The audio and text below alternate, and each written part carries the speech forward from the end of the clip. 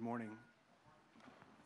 Now is the time in our service when we open up our Bibles and remember the Lord Jesus Christ through the Lord's table.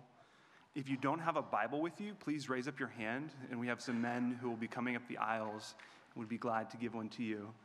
If you don't own a Bible, feel free to keep this one as our gift to you. Once you have your Bibles out, please open them up to Isaiah chapter 53 and verse 3.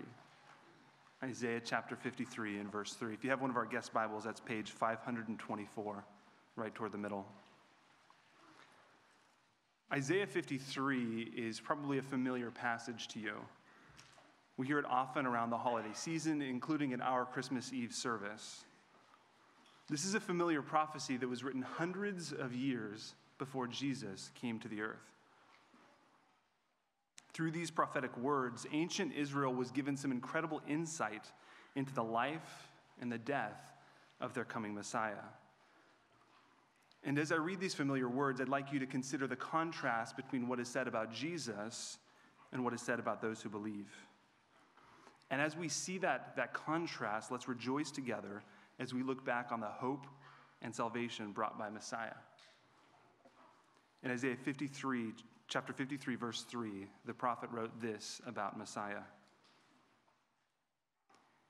He was despised and forsaken of men, a man of sorrows and acquainted with grief.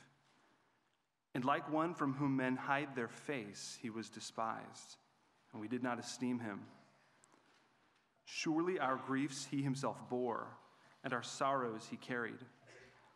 Yet we ourselves esteemed him stricken, smitten of God, and afflicted. But he was pierced for our transgressions, he was crushed for our iniquities. The chastening for our well being fell upon him, and by his scourging we are healed. All of us, like sheep, have gone astray. Each of us is turned to his own way, but the Lord has caused the iniquity of us all to fall on him.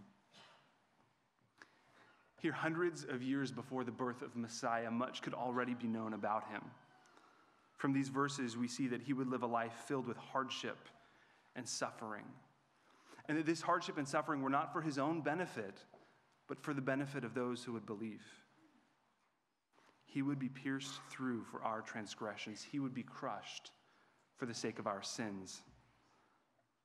This passage tells of Messiah's difficult life and his tragic death, all for the sake of believers. And while Israel looked forward to this coming hope, we can look back with certainty and with more understanding that these words were fulfilled in the life, death, and resurrection of the God man, Jesus Christ. Jesus came to earth, he lived a sorrow filled life, and although he did no wrong, he died an excruciating death on the cross. Normally, when the innocent suffers and the guiltless are punished, we don't rejoice.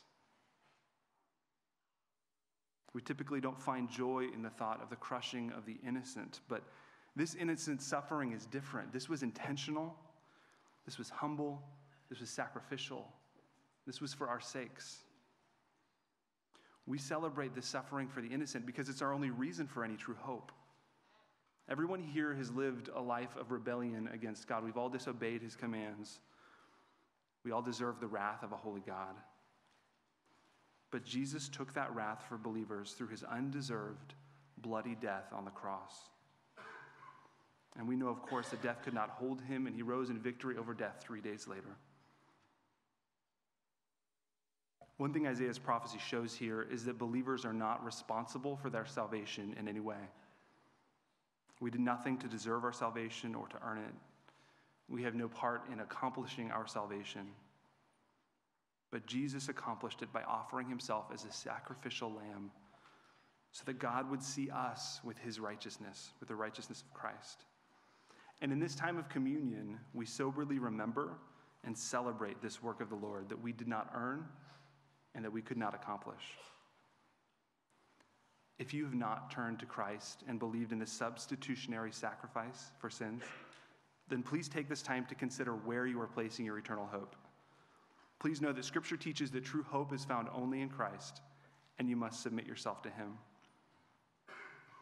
And if this is you and you don't believe, please allow the bread and the juice to pass as they go by. This is a time of intimate fellowship intended for those who believe to remember Christ. Believers, before you consume the cracker and the juice, take some time to reflect on this undeserved gift from God.